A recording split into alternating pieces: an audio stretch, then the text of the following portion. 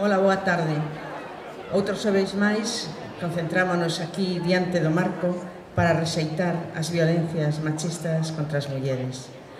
Hoxe, mm, leerá o comunicado unha integrante da Asociación Farasa, Alba Sousa.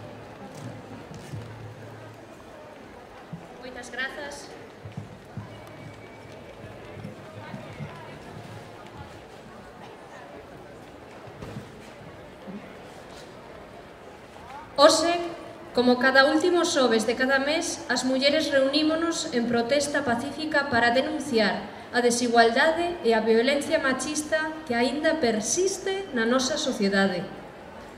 Hoxe, co recordo ben fresco do pasado 18 de outubro, día en que se conmemora a loita europea contra a trata, e sendo a trata con fins de explotación sexual xunto coa prostitución Unha das expresións da violencia de xénero que afecta de maneira directa a, a milleiros de mulleres do noso país, nos reunimos para manifestar que isto nos afecta de maneira simbólica a todas as mulleres.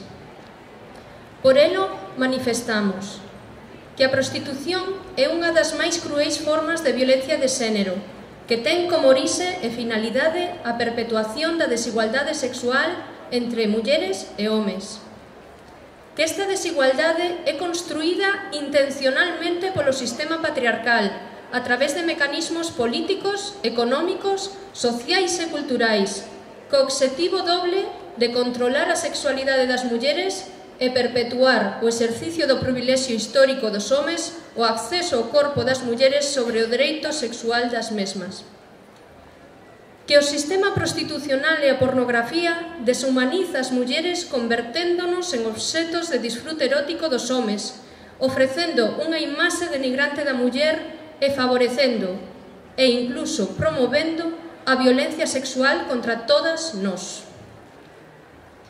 Que a trata con fins de explotación sexual é a punta do iceberg da violencia sexual, no que a explotación sexual e a prostitución son sistemáticamente e intencionadamente invisibilizadas e justificadas, centrando o debate no doreito das mulleres a comercializar co seu corpo cando o acento debe estar na problemática que supón aceptar que o privilexio dos homes o privilexio dos homes a mercar os corpos das mulleres.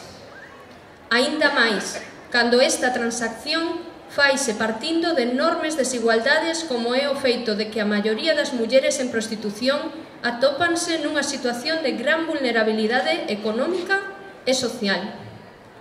Por todo isto, exiximos o inicio de campañas por parte das administracións públicas de sensibilización para desalentar a demanda de prostitución.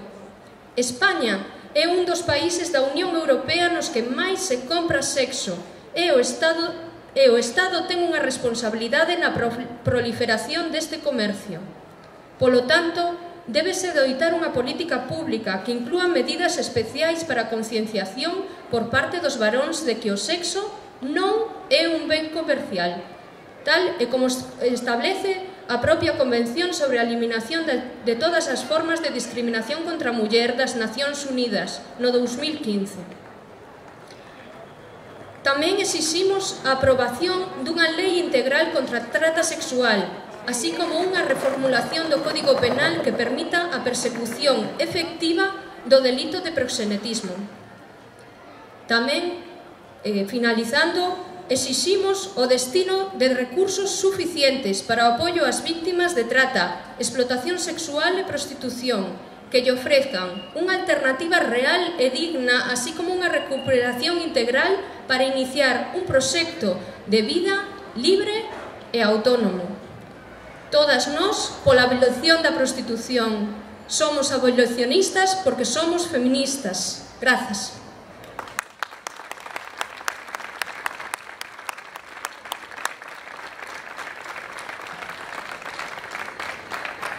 Agardamos un minuto de silencio.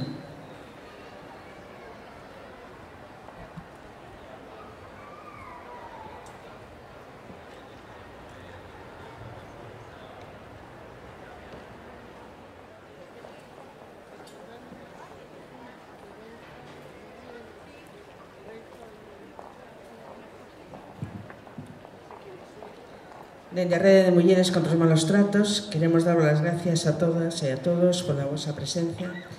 Recordar que mm, o mes que ven que o, o Día Internacional da Violencia eh, a Rede participará na manifestación unitaria que se producirá en Vigo. Gracias.